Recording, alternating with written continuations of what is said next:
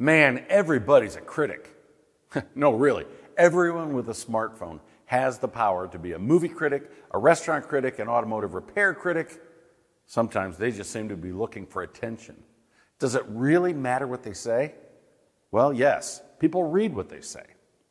One of the key reasons as to why it's important to respond to your customers' online reviews is to help with your shop's internet presence. Look, I get it. You might say that you're too busy to respond because you've got a lot to do running the shop. I'm sure that's true, but here's something to remember. Every review you receive is because your client made the choice and made the effort to provide the feedback. Your customers didn't have to take the time out of their day, they're busy too.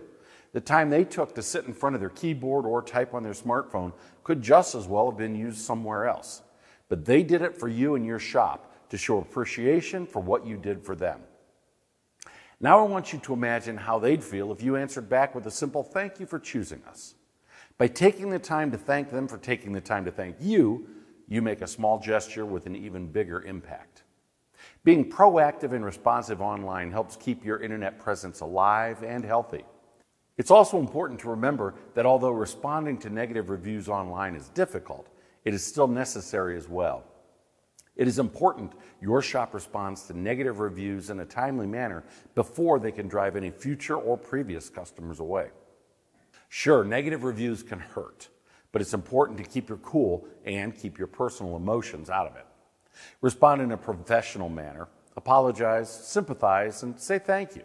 Showing thanks allows your customers to see that your shop is loyal and appreciates candid feedback. Additionally, don't make excuses. Take responsibility even if what happened was an uncommon occurrence, and acknowledge the customer's experience during the visit.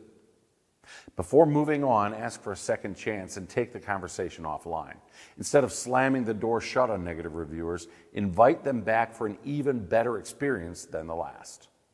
What your current customers say about you matters to your future customers. Make sure it matters to you. Thanks for spending a couple of minutes with me. I'm Doug Kaufman.